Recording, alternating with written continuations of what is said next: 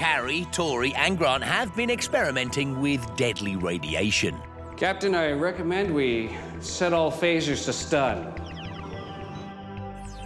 They've exposed cockroaches, fruit flies, and flower beetles to three levels of this invisible killer.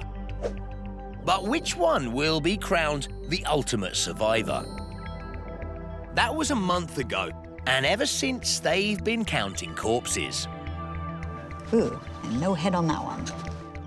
It's been a morbid 30 days, but remember, these insects were bred for death by science.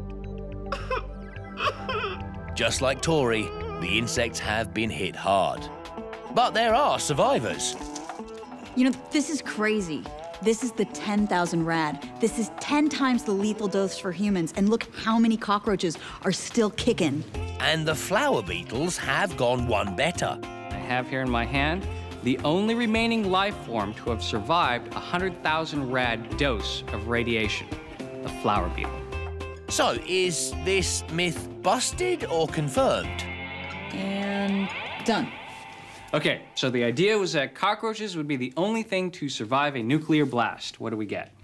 Well, remarkably, cockroaches are really good survivors. After 30 days, the ones exposed to 10,000 rad still had 30% still alive, and the ones exposed to 1,000 rad had 50% still alive. It's pretty amazing. That's incredible, considering if we were exposed to 1,000 rad, we'd be dead. So it's confirmed. Cockroaches outsurvive humans after nuclear blast.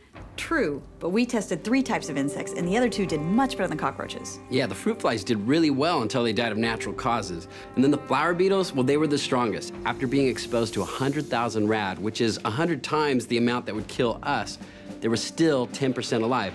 The cockroaches, there was none that survived after that kind of exposure. So the final result is that all the insects outsurvive humans, but as far as inheriting the Earth, there are much better candidates than the cockroach. Which means it's busted. Busted. Just like our chances of reproducing. This Bug Myth's Busted.